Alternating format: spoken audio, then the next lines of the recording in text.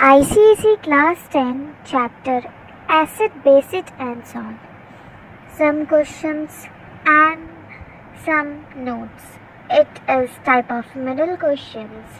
Please like and subscribe my channel to motivate me to make the new videos or for ICSE. Of course for ICSE being as an obedient.